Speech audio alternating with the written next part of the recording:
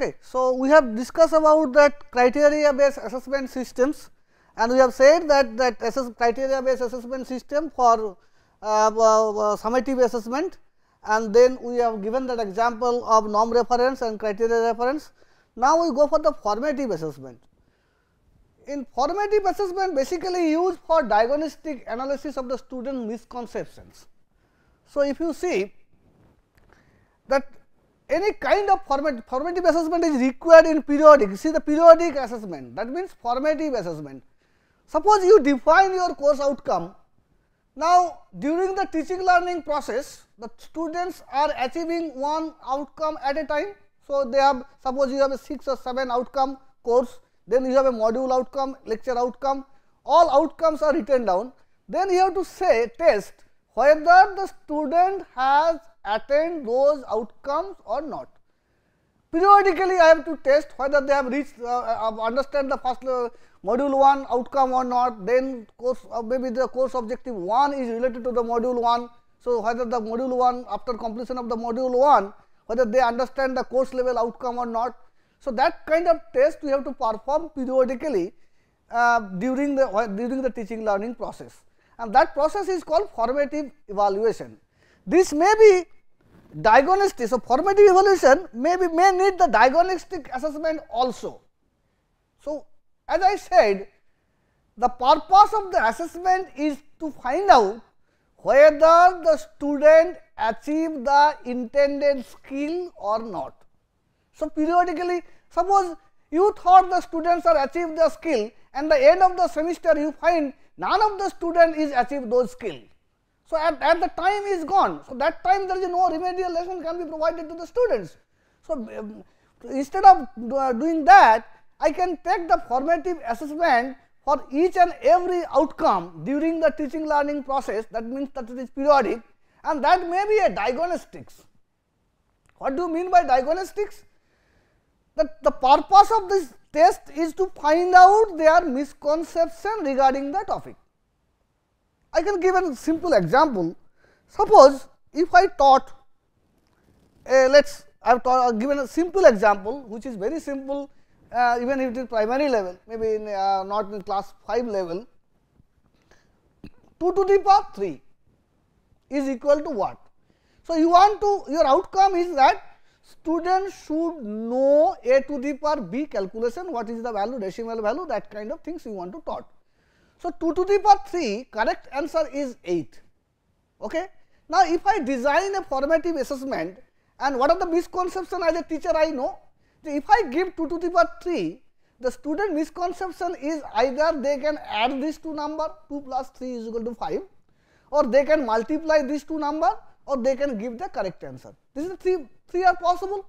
So, both I have to now after the class suppose I have a I taken 1 hour class let us 1 hour lectures and you said that within this 1 hour student should achieve this outcome 1, 2 and 3 let us 3 is the your lecture outcome. Just before the end of the, the 5 minutes of the lecture you should spend to test whether the student has achieved that outcome or not. Now, teacher may say that I have a 400 students, how can I test whether the student has achieved the outcome or not? There is one problem 400 students in my class. So, I am unable to test whether the student has achieved the outcome or not. How do I test it? Now, that is possible we are developing that software. Let us let us I have a uh, multiple choice question answering soft, uh, software where or you everybody know the clicker technology or some other uh, multiple choice answer kind of uh, technology is there. Now, as a teacher I create a question paper which is multiple choice, but the all choice are not arbitrary. There is a correct answer and there will be a choice which related to a possible misconception. So, if I say 2 to the power 3, the choice is not 8, 7, 6, 5. I have to give the choice 6, 7, 8 over 2 to the power 3 means one choice is maybe adding the 2 number 5, another choice is multiplying 2 number 6, another choice is 8. So, if a students, so I make that question to to all 400 students from my laptop and everybody lets there is a smartphone or there may be a um, everybody has a mobile phone now a student. So, give the give the answer. Once they click the answer choice A let that is 5 then you know what is their misconception. Then you can whether they have by chance give this answer or not you can again make a question paper which is less 3 to the power 5 then give the choice again he have given the question answer is 8 that means you are ensure that his misconception is he is adding these two number. Now, you identify those students because roll number you know and you call them that since you have you have a misconception like this. So, please read this material to overcome this misconception.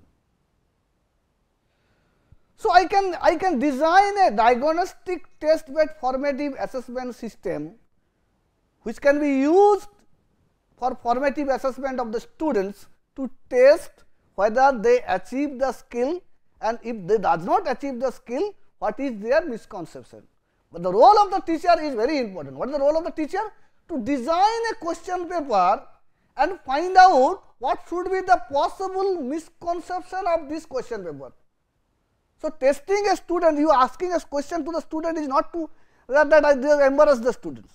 You are asking a question to the students to find out what is the possible misconception of the students. So, to do that today ICT can help greatly to find out the possible misconception and provide their remedial lesson this can be done. Even right now that the, uh, many, many people know the modules, modules can be used to find out the misconception, but that is not diagnostics. We are developing one software which will be diagnostic test bed formative assess assessment so that as a teacher I can find out what is the miscon possible misconception of the student. Okay. Now, there is a another question is come that is called item analysis. Many of you know the assessment the suppose I want to make a question I test item analysis test item analysis question test item whatever I have make the question paper I want to analyze wh whether these questions is appropriate to the students or not. So, what I said if it is criteria based then question paper will be designed based on the criteria.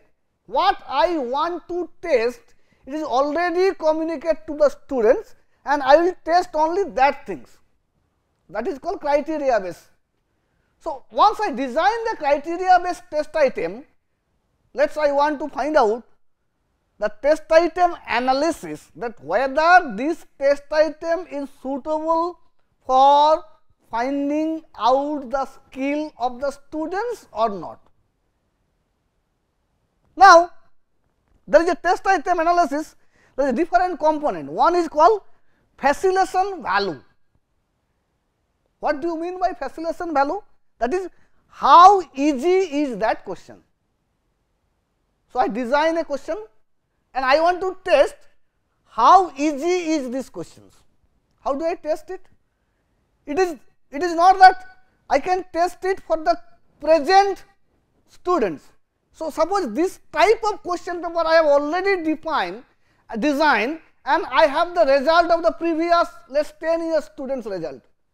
From that result I can find out what is the facilitation value of this type of question paper means how easy it is. How we do it? Let us I have a students of 40 students in my class. I make a test item and I test, take the test. Out of 40 students, all students give the correct answer, which I intended. If it is criteria based, my purpose is solved all students know the skill. But if I want to say that rank the students, then all students give the answer, I cannot rank them 1 to 100.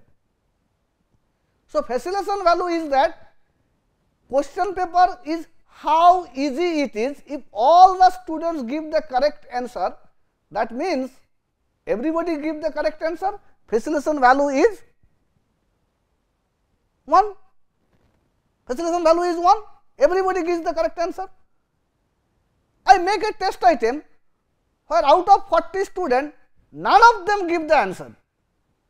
That means facilitation value is 0. None of the students can give the answer. So, facilitation value is 0. So, now if I have a question paper of 40 questions and all students give that correct answer, then the facilitation value is 1 FV and if none of the student can give the correct answer facilitation value is 0. So, FV varies from 1 to 0. Now, in between value how do I find out? So, suppose I have a 40 students if you see this I have 40 students 40 students let us talk about multiple choice question first then I come to the summative type question paper. So, let us I have a 10 questions 1, 2, 3, 4, 20 questions I have and the correct there is multiple choice questions there is a fourth choice A, B, C, D and correct answer is C. Now, out of 40 students let us test item 1 I found some of the student uh, choice is B, some of them are C, some of them are A all kind of things are there. So, now after taking the test let us I rank the students that I know that those are the students. I take the so 20 20 test item is there. I take the test and then I find out the based on the total score I rank the students. Somebody get 18 let us every question is 1 marks. Somebody is 17 somebody is 16 so I rank them 1 to 40 so once I rank them 1 to 40 then there is a you know everybody knows that first portion are the good students and last, uh, last portion are the bad students who not perform well. So, generally the marks distribution of the student should be a Gaussian marks, Gaussian distribution. Marks of the student should follow a Gaussian distribution. Everybody know what is half power down, 3 dB down. What do you mean by 3 dB? Is 27 percent 27 percent is the 3 dB. So, if I say those are the highest highest marks and this is the low low low students. So, this is 1 this is 40 rank students. So, if I rank them and up to this portion this portion is called upper group and this portion is called lower group. Okay. So, if I want to find out how easy is this question? Let us test item 1. I have to know how many students of upper group give the correct answer and how many students of the lower group give the correct answer. Okay or not? So, now if it is 27 percent, so 40 students roughly if I say 8 students is come, 40 students means or if it is 30 students, oh here is 30 students. So, if it is 30 students, if I have a 30 students, then roughly 8 students is the upper group and 8 students is the lower group.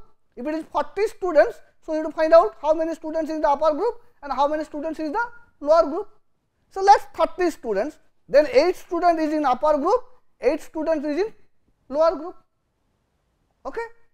I said the facilitation value FV is how many students of the upper group give the correct answer and uh, how many students of the lower group give the correct answer and divided by the group size is clear or not. So, if I say out for test item 1 out of upper 8 students only 7 students give the correct answer and for the lower group I found one student give the correct answer C. So, one student give the correct answer divided the group size 8 plus 8. So, it is 8 by 16. So, it is 0 0.5. So, facilitation value of the test item 1 is 0 0.5. Is clear or not? I said if I want to find out the facilitation value of a test item, I have a class size and rank them uh, after the taking the test I rank them 1 to 100 or maybe 1 to 40, 1 to 400. Then I take the upper group and lower group, upper 30 percent of the students and lower 30 percent of the students. How many students of the upper group give the correct answer plus how many students of the lower group give the correct answer divided by the group size if each test is each um, uh, each test item is uh, test item is corresponding to 1 marks is clear clear so facilitation value is 0.5 in test item 1 now similarly if i see the test item number 2 correct answer is a how many upper group is up to 8 is one upper group student give the correct answer sorry 7 upper group student give the correct answer and 7 lower group student give the correct answer. 7 plus 7 divided by 16 so 14 by 16 almost 1 close to 1 so that means test item 2 is very easy. Even the lower group student can give the answer. Is clear? But in our cases since it is criteria based assessment system, this kind of test item analysis is not that much required because I want to test whether the student achieved the skill or not. But if I want to assign them a rank, then I have to do the test item analysis and I have to design the question paper such that I can rank the students 1 to 40. Okay. So, that is called facilitation value. Similarly, let us instead of one marks multiple choice question, suppose I have a question paper which let us there is a 7 question in the paper, each question has 15 marks, each question is 15 marks. So, let us 7 into or I can say I have a 7 question, question number 1 is 15 marks, question number 2 is maybe 12 marks, 3 is maybe 10 marks. Like that and within 7 question I have a total 100 marks question paper. Is okay or not? Okay? So 100 marks question paper. So now question number 1 15 is the highest. So within the 100 marks question paper first after the test i rank them. Rank the student. 1 to 30 1 2 3 to 30 now i find the for question number 1 the upper group is up to 8 and question number 1 lower group is 27 to 30 so, I will sum up the total marks of the upper group. What is total marks? Question paper full uh, uh, marks obtained by the individual students of the upper group. So, sum up upper group marks plus sum up lower group marks divided by total marks in upper group 8 into 15 plus 8 into 15.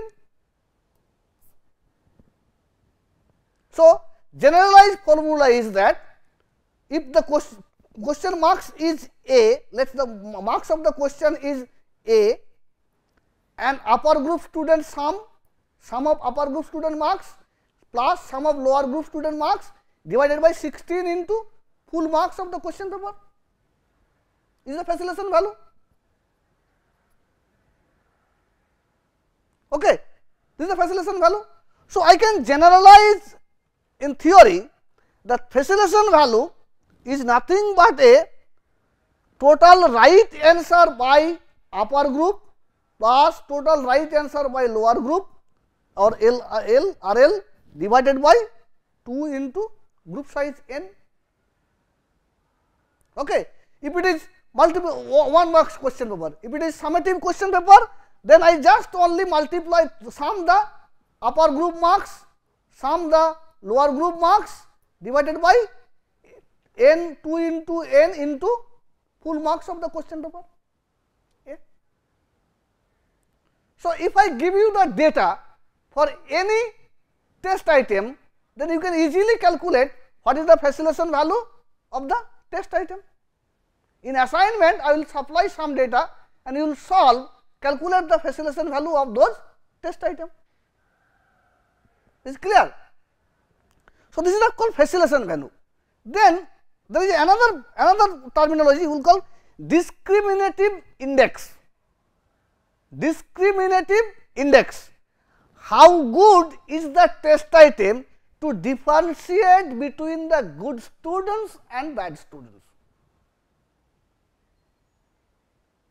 So, if I say I am designing a question paper for JEE, my discriminating index value of that question should be very high. So, that only top students can answer that questions and lower, lower student cannot answer that question. So, that I can choose the good students from the large pool of students. If I give the facility discriminating index very low question paper, all everybody is give the answer, the, the, the, the, that question does not create any value to the JEE question because JEE is the norm reference examination. So, suppose I, in JEE there is a one question everybody 5 lakh student everybody give the correct answer. What is the value of that question? No value because using that question I cannot differentiate the good student to bad student because JEE exam is only find out the good student from the among 5 lakh students who are the top good student who are the less top and like that way I have to rank them. Okay. So, discriminating index is nothing but a how good is my test item so that it can differentiate between the good students and bad students. Okay. Now, same things if I say I, I take a test for less 30 students and again I found let us item number 1 correct answer is C. And upper group students give the correct uh, upper group all 7 students of the upper group give the correct answer and 1 student give the wrong answer. In the uh, correct answer in the lower group student. So, I said how good it is differentiate between the upper group and lower group. So, that means correct answer given by upper group minus correct answer given by lower group divided by the group size. That means that is equal to di. How good is the question paper to differentiate between the good students and bad students? That means the correct answer, the number of students give the correct answer of the upper group, number of students give the low, uh, correct answer in the lower group minus divided by n. So, in case of I, question number 1, in this example, I can say the 7 students of the upper group give the correct answer, only 1 students of the lower group give the correct answer and divided by group size is 8. So, it is 6 by 8 is the DI. Okay. So, discriminating index is nothing but a 7 minus 1 by 8. Similarly, if it is summative type question if it is a long long answer question instead of multiple choice, let us my question number 1 highest marks is 15. Then the sum of the upper group students, sum of the marks of the upper group students minus sum of the marks of the lower group student divided by the total marks n into 15. Is okay or not? I will upload this PowerPoint presentation where some something is already calculated you can go through it, but you have to understand the theory first. That what is what do you mean by discriminative index. Now, you see if the facilitation value is 1 what should be the DI? All students are give the correct answer. That means facilitation value FV FV is equal to 1 so, di will be upper group correct minus upper group lower group correct divided by correct is equal to 0 discriminating index is 0. So, that means if I provide a question paper in case of a ranking the student and every student give the correct answer that question does not use or does not have any effect on the ranking of the students. So, I, I should not use that type of questions to ranking the students, but yes, I will use that type of questions if it is criteria based evaluation. I want to test whether the student achieved this skill or not. In case of our semester examination, I should provide the question paper which can every student give the correct answer because every I want to test the criteria not the discriminating them to provide the rank. Okay. So, I can use this kind of formula test test that item which is called item analysis to find out the hardness and how easy is the question paper from the previous year data set. Okay. So, there is a lot of workout problem. If I see that the, this this, uh, this group that item number 1 effectiveness of this, uh, the discriminative uh, index facilitation value is 0.5 and discriminative index is 0.75 6 by 8. Okay. So, some workout problems are already there you can go through this uh, uh, slides and see that uh, discriminating value and facilitation value. Now, there is another point is called effectiveness of the distractor. Designing of multiple choice question paper is not that so easy. When you design a multiple choice question paper and if you have a 4 choice, the choice is not arbitrary. Even I seen that my daughter is preparing for Olympiad exam in maths and I found he is giving that choosing the correct answer of a 3 digit number multiplied by a 3 digit number within a fraction of second. Then I asked how do you select the correct answer without doing the multiplication? He said it is very simple. If you see the fourth choice, let us there is a given a number whose last digit is 5 and another 3 digit number whose last digit is 5. So, he said that what should be the result last digit should be the 5. Now, if you see the fourth choice only one answer has the last digit 5. So, obviously that will be the correct answer. So, if I say I want to test whether a student is able to multiply a 3 digit number by a 3 digit number using multiple choice questions and I give this kind of option, then without doing the multiplication or without doing the correct multiplication of 3 digit number, students can give the correct answer. Then my purpose of the evaluation is totally lost. If you see many many of the cases that our JEE exam all our coaching center are try to do this this only they want to prepare the students how how good are they using minimum time can find out the correct answer or they can reject the wrong answer so that they can distinguish the correct answer. So, that is mechanized practice and mechanized. This does not test the student deep knowledge or deep understanding about the subject. So, this does not develop the skill set of the student. This kind of mechanism is used in a training. You see that all JEE coaching center, several tests they have taken and several kinds of tests they have taken to only facilitate the students how do you select that answer quickly. So, if I want to really design a very good multiple choice questions, my each of the choice should not be arbitrary. So, suppose if I want to design a multiple choice option for 2 to the power 3, what are the possible misconceptions I have to find out?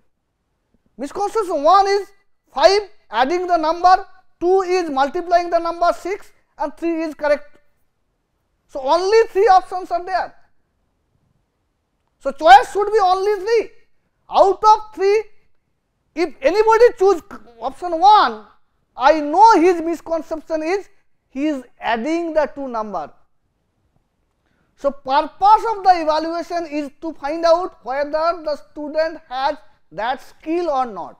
If I want to find out, so I have to know what are the possible misconception if I this give this kind of question paper. So, if I 2 to the power 3 and I give a choice is 100, 200 and 8, then none of the students or let 100, 6 and 8, none of the students choose this 200, option 200. What is the meaning? The effectiveness of the distractor.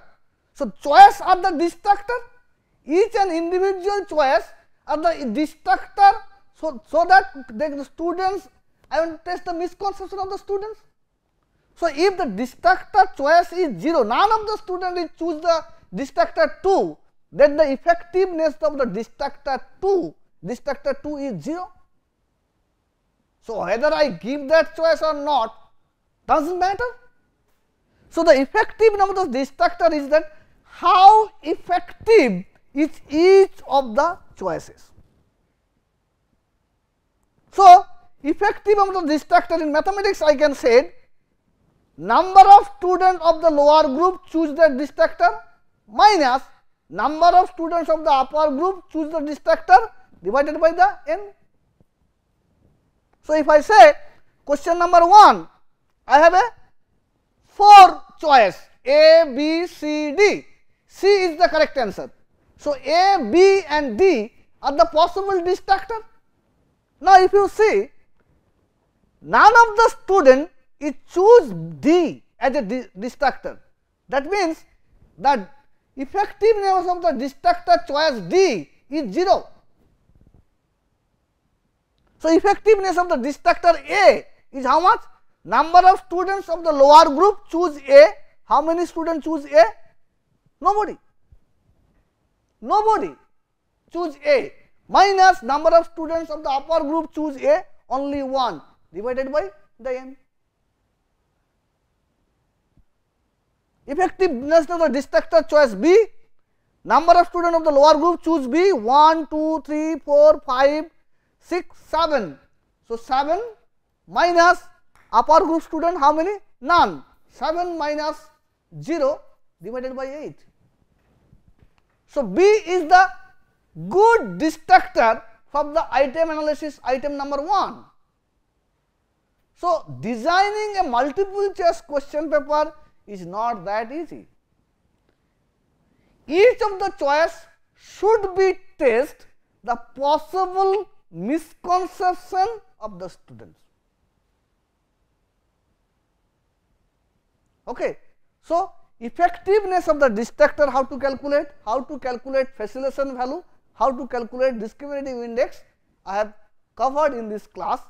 Next class I will say how to design or there is another one guessing problem and then I go for go to, go to the, the validity and reliability of the evaluation. Okay? Thank you.